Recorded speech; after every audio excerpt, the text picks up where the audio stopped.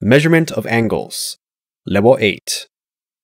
In this video, we will go over a problem that involves inequalities and a problem that has an algebraic expression as a solution.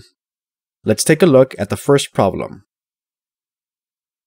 In the diagram below, angle B is acute. What are the restrictions on the measurement of angle B? What are the restrictions on x?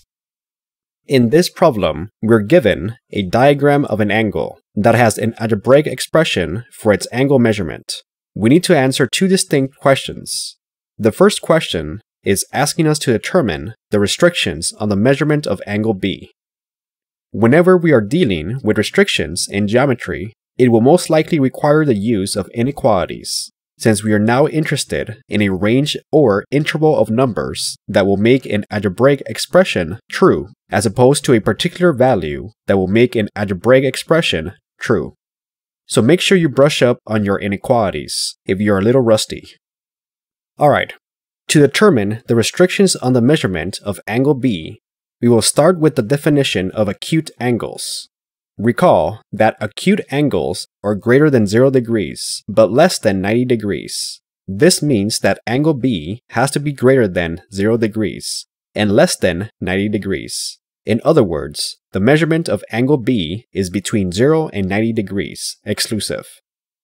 Now, the next question is asking us to determine the restrictions on the variable x. In other words, what are the values of x that will make the angle acute? We can determine this by using the inequalities from the previous question. These inequalities are the geometric relations of the problem.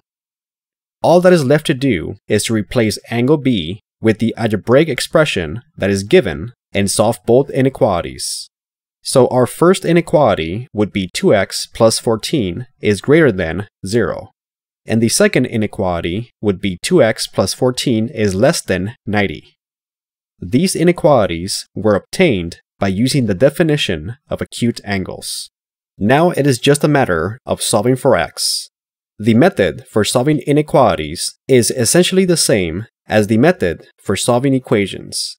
The only difference is that you have to make sure you flip the inequality symbol when you divide or multiply by a negative number. Solving for x, we obtain x is greater than negative 7 and x is less than 38.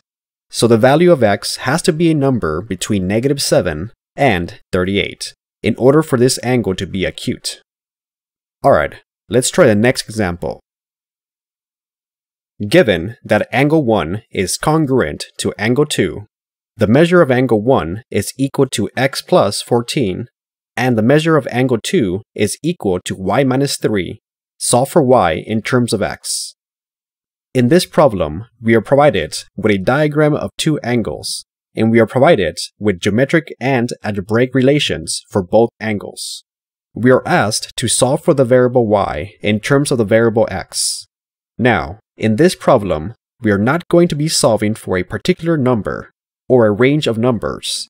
We are simply going to find an expression for y in terms of x. So our final answer will have numerical and algebraic expressions. We can start by setting up the geometric relations. We know that angle 1 is congruent to angle 2, so we can set the measurement of the angles equal to one another. Next, we go ahead and substitute the algebraic relations for each angle. Now it is just a matter of solving for the variable y. So we add 3 to both sides and simplify the expression.